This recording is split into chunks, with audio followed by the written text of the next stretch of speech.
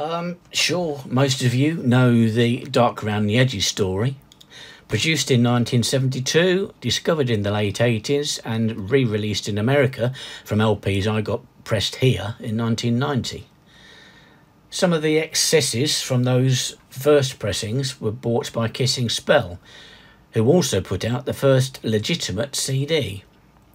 I say legitimate because from those, many bootleg CDs were produced, and then Akarma also put out an official LP reissue in 1998, but then, of course, went on to produce many illegal copies. Now, every so often, I'm contacted by record collectors who tell me that the pride of their collection is one of our original albums, in whatever sleeve their version happens to be. And this happened a, uh, a few years ago when a collector on the continent told me he had two copies uh, one being a black and white single sleeve but without a booklet, the other a colour gatefold with the booklet but without the inside black and white sleeve photos. The gatefold came, apparently, with a note from Ron, our bass player, to the French collector who originally bought it and then sold it to this collector in 2005, saying that Ron had made it himself. Now, I was immediately suspicious because I know Ron didn't make any of the sleeves. However, as English was obviously not this guy's native language, I wondered if he was getting confused, so I, asked him to send photos of the gatefold sleeve and the letter.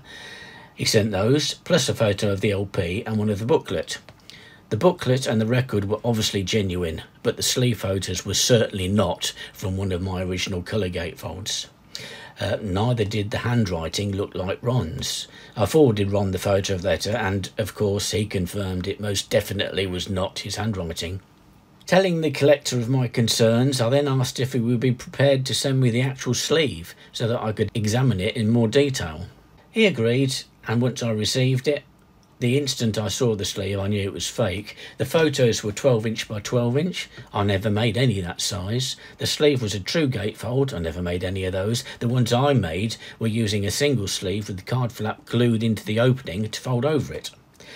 The gull photo was on the front of the sleeve, whereas with all of mine, the band shot was the front, if you opened it like a book. And the photos were obviously copies. I could tell that because the stipple of the original photo surface could be seen reflecting light in the top right hand corners.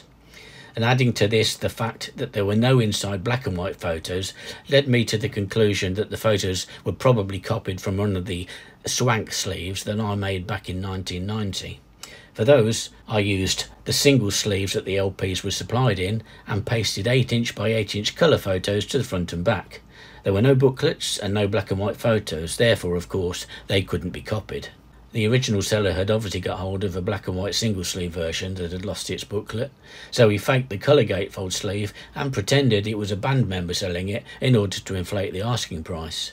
As far as I know, he didn't offer any explanation as to why the inside photos were missing or the booklet, and the buyer was left with the impression that they had fallen off and all got lost. Once I pointed all this out to the buyer, uh, of course he was very distraught. He had paid 10,000 euros for it. This was back in 2005, thinking it was an original. I, I felt quite bad for him, so I printed the missing inside black and white photos to complete his fake sleeve, and also made a completely new gatefold for him with the band shot on the front, girl on the back. Of course, it couldn't be one of the 1972 originals, but it was an original Steve Giles sleeve. I also sent him one of the new lyric booklets that I had included with the 2017 special that I produced, um, so he could replace the one missing from the black and white single sleeve version he had. Although, of course, still very disappointed he had been scammed, he was very appreciative, and I was happy to do what I could for him.